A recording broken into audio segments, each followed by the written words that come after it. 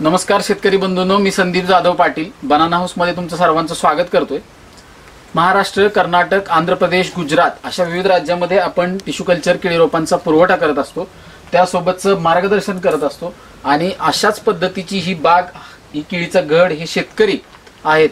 सोलापूर जिल्ह्यातील मोहोळ तालुक्यामधील आरबळी या गावातले शेतकरी आहेत. गणपत कृष्णा पडगळ हे यांनी साधारणतः एक साडे दहा ते अकरा महिन्यापूर्वी इथं टिश्यू कल्चर केळी रोपांचा बाग हा प्लांटेशन केला होता आणि तिथपासून आज अठ्ठावीस रुपयांनी एक्सपोर्ट होते अठ्ठावीस रुपयाप्रमाणे एक्सपोर्टला माल दिलेला आहे. आणि ह्या सगळ्या विषयीची चर्चा मागच्या अकरा महिन्यामध्ये काय घडामोडी झाल्यात याची चर्चा आजच्या या व्हिडिओमध्ये करणार आहे. गणपत काका तुमचं पूर्ण नाव आणि इथली पूर्ण माहिती सांगा. गणपत कृष्णा पडगळ गाव आरबळी तालुका मोहोळ. जिल्हा सोलापूर. एकूण सगळं क्षेत्र किती आपल्याकडे? इथं एकूण. हे पावणे दोन एकर. नाही टोटल. टोटल साडेचार एकर. बर. त्यामध्ये कुठली कुठली पिकं आहेत आजच्या घडीला? आता पावणे दोन एकर किळे आहे एक एकर ऊस आहे आणि दीड एकर आपलं तूर आहे. तूर आहे. आणि तुमचा मूळ व्यवसाय काय? आहे? म्हणजे ह्यासोबत दुसरा व्यवसाय काय करता तुम्ही शेती? दुसरं काय शेत नाही हेच व्यवसाय. हेच का पूर्ण. आणि ह्यामध्ये एक जनरली आता सांगायचं. केळीची तर काय माहिती नव्हती तुम्ही नाही, नाही, कधीपर्यंत काय- केली नाही. नव्हती आणि शेतीच हे सगळं. नव्हती. मग केळी लागवड करायची असं का डोक्यात आलं आणि म्हणजे का लागवड केली केळीचीच केळी केळी लागवड पीक आता निवडण्यामागचं काय कारण? ऊसाचं बघितलं तर ऊसाचं काय एवढं हे होत नव्हतं काय म्हणजे दर नाही हम्म. उत्पन्न निघत नव्हतं हम्म. मग जरा शेजारी आमचे साळुंकी का काय त्यांच्यामुळं हम्म. किळी म्हणली करू आपण हम्म. बरं मग त्यांनी केळी त्यांची दोन एकर होती हम्म. त्यांच्यामुळे म्हणलं आपण बी देऊन दोन एकर लावून टाकू हम्म. ती लावली दोन एकर आणि सा- ज्यांचं हे उदाहरण देत होते त्यांनी आजपर्यंत जशी केळी लावली तशी आतापर्यंत खोडवा असेल निडवा असेल लागण असेल एक्सपोर्टच केलेले. हो. आणि चांगलं एक आर्थिक उत्पन्न पण मिळवलेले तुम्ही प्रत्यक्ष डोळ्याने हो, बघितलं एक समोरचं उदाहरण म्हणू आपण त्याला. एक जिवंत उदाहरण समोर बघितलं होतं. त्यानुसारच यांनी पण तुम्ही बाबा केळी लावायचं नियोजन चांगला फायद्याचं. आणि केळी पण असं पीक आहे ना एक खरं म्हणजे एक लक्ष्मीचं स्वरूप आहे. म्हणजे हे काय फक्त बोलायला नाही पण मुळतः असं तुम्ही जरी ध- आपल्या धार्मिक लक्ष्मी ग्रंथामध्ये जर बरोबर. बघितलं तर केळीच्या झाडामध्ये बृहस्पतीचा वास किंवा एक लक्ष्मीचं प्रतीक म्हणू आपण त्याला तर ते आहे. आणि खरंच शेतकऱ्याच्या जीवनामध्ये केळी ही आर्थिक स्थिरता घर प्रपंच आपला संसाराचा गाडा चांगला पद्धतीनं चालवण्यासाठी शेतकऱ्याला एक खरंच मदत होते. म्हणजे आणि हमखास. थांब करा. म्हणजे इतर पिकासारखं धाकधूक नाही नाही. धोका होऊ शकत नाही. केलेला खर्च तरी कमीत कमी निघू शकतो. अशा पद्धतीचं पीक आहे. नुकसान हे होण्याचे चान्सेस म्हणजे लय कमी. एकदम कमीत जरी म्हणलं तरी रिस्क कमी आहे. अशा विषय. रिस्क फक्त निसर्गाकडची. तेवढं वारं वादळ हा, आलं तर तर काय नाही झालं. अशा पद्धतीचं. तर आज एवढे चांगल्या पद्धतीची देखणी बाग इथं बघायला मिळते. एक्सपोर्ट क्वालिटीचा माल उत्पादित झालेला आहे. आणि खरी परिस्थिती अशी आहे की मीच तुम्हाला असं म्हणलं होतं की मला तर काय गॅरंटी हो, वाटत नाही. येईल बाग. कारण ज्या वेळेस लागवड केली वेळेस त्यावेळेची काय परिस्थिती कुठला महिना होता? फेब्रुवारी होता. फेब्रुवारी. आणि काय परिस्थिती होत होती लय उन्हाळा होता. इकडं पाऊस नाही काय नाही पडला त्यामुळे उन्हाळा लय होता. हम्म, मग ताग लावायला सांगितलं मग ते ताग लागण केली थोडी. साईडला हम्म. एक एक दीड दीड फुटावर ताग लागण केली. मग सुरू पण झालं तरी पण रोपांची मला वाटतं किती मर झाली मग- तीनशे चारशे हो, वरच? तीनशे साडेतीनशे चारशे साडेचारशे झाली मर दोन हजार रोप. दोन हजार. टेम्परेचरमध्ये. टेम्परेचर आणि भयानक उष्णता होती. अं, अशा पद्धतीत उशिरा ताग लावला बरं ती ताग लावला तर परत ती ताग मोठा झाला. ताग मोठा झाला. त्याच्यामध्ये परत अजून थोडस गेली, रोपांना झाकली गेली. रोप ताग मोठा झाला त्यामुळे थोडीशी दबली गेली रोप. अशा बऱ्याच अडचणींना इथं आज सुद्धा इथं आम्ही शूटिंग काढतोय तर एक बारीक पाऊस पाऊस येतो चालूच आहे पाऊस चालू आहे. म्हणजे कुठलं वातावरण नाही. आता ऍक्च्युली थंडीचा महिना असून सुद्धा पाऊस पडतोय. काल परवापर्यंत उन्हाळ्यासारखं कडक ऊन पडत होतं. म्हणजे शेतकऱ्याला ना एका गोष्टीवर सहजासहजी यश मिळत नाही. मूळ तर निसर्गाची साथ पाहिजे. त्यासोबत एक चांगल्या व्हरायटीची निवड पाहिजे. त्यासोबत शेतकरी कष्ट करणारा पाहिजे. जमिनीची ताकद पाण्याचं नियोजन या सगळ्या गोष्टी जुळल्यानंतर आज एवढ्या चांगल्या पद्धतीनं पस्तीस चाळीस किलो जिरास एक्सपोर्टला माल क्वालिटी हे सगळ्या तुम्हाला बघता येतील. म्हणजे काय निवळ आमची रोपा आहे ती आणि आम्ही मार्गदर्शन केलं म्हणून नाही पण शेवटी कष्ट पण आहे सगळं सुरुवातीपासून. नाही नाही मार्गदर्शन आहे ना पण हो. शेवटी कष्ट करणारे आहे ना. आता शहाजी असतील भई असतील ही सगळ्यांच्या मदतीनं एक साळुंके काकांच्या साळुंके मदतीनं- आणि. सगळ्यांचं असते म्हणजे ही काय श्रेय एकट्याचं नाही पण मूळतः अं, जे पण शेतकरी चांगलं खताचं पाण्याचं व्यवस्थापन करतात आहे हे पडगळ काकांसारखं तर त्यांना अशा पद्धतीची बाग ही बघायला मिळते. आज एकदम सुपिरियर बाग. आणि मी निश्चित सांगेन आपलं अंतर किती आहे? सहा बाय पाच. सहा बाय पाच. तर किमान तीन वेळा इथलं ह्याच पद्धतीने किंवा ह्याच्यापेक्षा क्वालिटीची पिकं पिसवतात. आज शाजी आपली किती आज कितवं पडवा आहे ना? आणि दुसरा एक तिसरा निडवा आहे. क्वालिटीत काय फरक पडलाय काय काय सुद्धा म्हणजे तीन तीन वेळा जरी तुम्ही फक्त काय आहे, व्यवस्थापन करणारा माणूस म- ज्याला काय म्हणू आपण त्याला? कष्ट करणारा हा कष्ट करणारा माणूस पाहिजे. बाकी काही अडचणी येत नाहीत. अशा पद्धतीचं एक समोर उदाहरण आहे तिथं. तर त्या ह्या सगळ्या नियोजनामध्ये सुरुवातीला काका ह्या जमिनीमध्ये काय होत? ऊस होता. बर मग ऊस कसा कसा आणि काय काय केलं? सांगा ऊस? रोटरला ऊस रोटून काढला दोन वेळा. हा बंद थोडं. ऊस रोटून काढला. आणि नंतर मग ऊस रोटरला मग सरी टाकली. मग चार सहा बाय पाच वर. हम्म. सरी टाकली मग सुरू केलं. लागवड केली. मग लागवड केली. केळ रोप तुमच्याकडं केळ आणलं रोपं आणली. हं. रोपं आणून मग ते चार दिवस ठेवली चार दिवसाला लागल. लागवड केली. लागवड करताना आपण सपाट केली का ह्याच्यावर केलेली? सरीवर केली. हो. अं. हे सगळ्यामध्ये त्यांचं काय बघा की? थांबू ना कटिंग थांबलं असेल तर. काका बघा ते काय म्हणते तर ह्या सगळ्या नियोजनामध्ये अं, आज आता एक्सपोर्ट चालू आहे गाडी कटिंग होत आहे. माझ्यामध्ये आज एक आठ ते दहा टन माल हो, दहा जायचं टन झाली. तर ह्या नियोजनामध्ये अं, लागवड केली. आणि त्यानंतर शेणखताचा वापर आपण ह्या जमिनीत कसा आणि कधी केला? ते लागण गेलं रोटराच्या अगोदर. रोटरून झाले सगळे रोपं लावली रोपं लावल्यानंतर मग शेणखत दोन्ही झाडाच्या मध्ये दोन दोन एक एक दीड दीड पाटी टाकलं. टाकलं. बेसळ डोस टाकल्यानंतर त्याच्या आधी? बेसळ डोसानंतर. नंतर टाकले. आणि जनरली ह्या रोपांची संख्या किती आणि एक साधारणतः मूळ रोप तुम्हाला हातात किती सापडली? दोन हजार पन्नास झाडं लावली. आता अठराशे साठ झाडं आपल्याकडे शिल्लक आहेत. एक दीडशे समजा रोपांना फटका. फटका.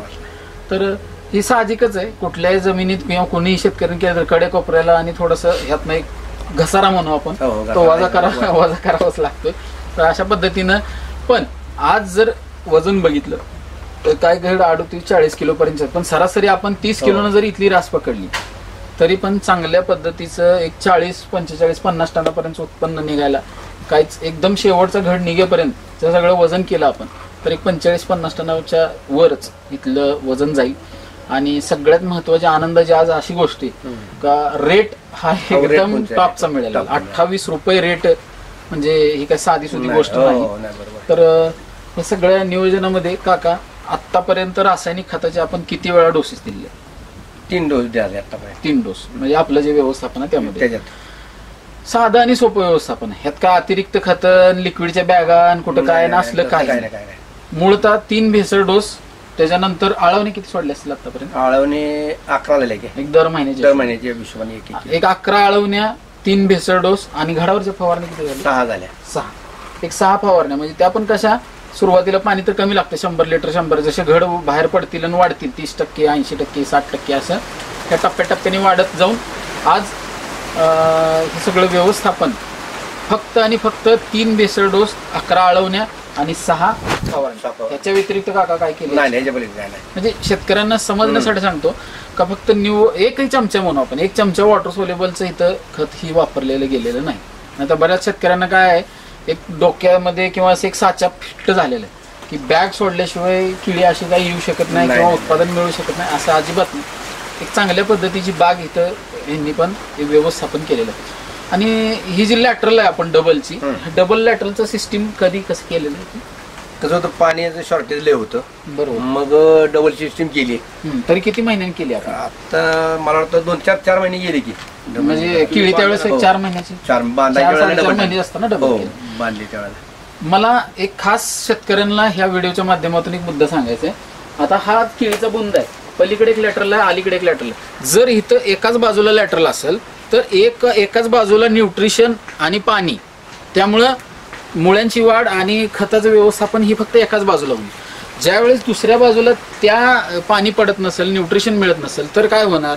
ती बाजू कुमकुवत राहणार. आणि परिणामी जे शेतकरी म्हणतात की उन्हाळ्यात आमची ही बाग पिचकून पडली आम्हाला फाण्याच कमी पडल्या आमचा वादाच कमी आहे फाण्यातलं अंतर कमी पडलं क्वालिटीच आली नाही वजनच बसलं नाही. जेवढ्या म्हणून काय निगेटिव्ह गोष्टी आहेत किळीतल्या त्या फक्त एका तुमच्या चुकीमुळे होत की जर तुम्ही डबल लॅटरल वापरत नसाल. डबल लॅटरल वापरणं हे अत्यंत आवश्यक आहे. आणि शेतकऱ्याकडे इतकं कुठनं पाणी आणायचं? दरवेळेस मोकळं भिजवायला? नाही पाणी नाही. तो एक पाणी सगळ्यात महत्त्वाचा आहे. म्हणजे पाण्याची कंडिशन जर बघितली तुम्ही मला वाटतं एक मोकळं पाणी भिजवस तर महिनाभर इथं ड्रिपवर हो. भिजवता येईल. एवढं पाणी स्टोअर करू शकतो. आणि आज पाण्याची काय अवस्था आहे? दुष्काळी परिस्थिती आपण का काही पूर्ण दुष्काळातली भाग लावला तेव्हा बी दुष्काळ हो, ना हो, उतरा आली तरी बी दुष्काळ. अशा पद्धतीनं. पोषक वातावरण सुद्धा ह्या बागेला सापडले म्हणून अत्यंत महत्वाचं आहे एक बाजू कुंकवत ठेवली तर तुमची झाडं पिचकून पडणार त्या झाडाचा बुंदा नाही वाढणार त्या झाडाचे मोठे घड नाही पडणार त्या झाडाला पानं नाही निघणार व्यवस्थित मोठ्या पद्धतीनं. म्हणून अत्यंत महत्वाची बाब आहे की कंपल्सरी हे डबल लॅटरल कुठलंही अंतर असू द्या तुमचं केळीला दोन्ही बाजूला लॅटरल ही पाहिजे म्हणजे पाहिजेच. तर हे सगळ्या नियोजन आपण पुढे येऊ. एक साधारणतः रोप काही ड्रीप खत सगळं कुठं मजुरी इकडं तिकडं. एक आतापर्यंत किती रुपये खर्च आला सरासरी एक लाख सत्तर हजार रुपये की आपलं. टोटल या बागेला. बागेला सर. एक लाख रुपये एक लाख सत्तर हजारपर्यंतचा हा खर्च आलेला आहे. आणि जनरली आज जरी आपण एक अं, दहा टन जरी हिशोब धरला तरी पण मला वाटतं दोन लाख ऐंशी हजार आज पट्टी एक हो, गृहीत आज- धरू अंदाज. आजची- हो. थोडं कमी जास्त होईल हो, त्यात काय दुमत हो. नाही. दोन ऐंशीची पट्टी पहिल्याच तोड्यामध्ये आहे. बरोबर. पहिल्याच तोड्यामध्ये. म्हणजे तुमचा उत्पादनाचा खर्च हा पहिल्याच पहिले तोड्यामध्ये थोड्या निघून निघून आता इथून जे काय मिळेल ते प्रॉफिट प्रॉफिट आहे. आणि एक रास जरी स- जरा एक पन्नास पंचावन्न टन जरी माल हिशोब काढला तरी पण एक मी म्हणतो पन्नास टन धरू आपण. अं, पंधरा. एक साधारणतः किती कॅल्क्युलेशन एक तुम्हाला काय वाटते बाबा? आमच्या त्याच्यात म्हणलं म्हणजे कसं आहे, मी सांगण्यापेक्षा बरोबर आहे पन्नास तुम्ही टन सांगा. उत्पन्न. हा. सरासरी आता अठ्ठावीस गेलं जरी वीस गेलं बावीस गेलं आणि वीस रुपये धरलं.